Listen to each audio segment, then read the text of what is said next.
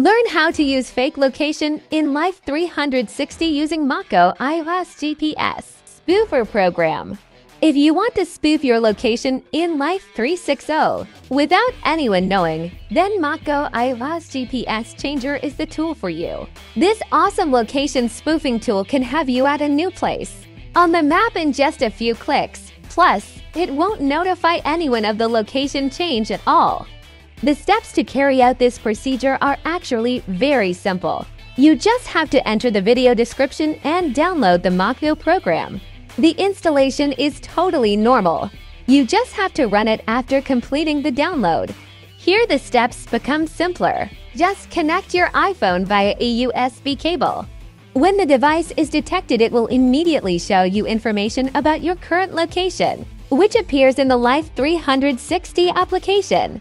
You just have to mark or search for a location where you want to appear, and the movement will be done instantly on your iPhone.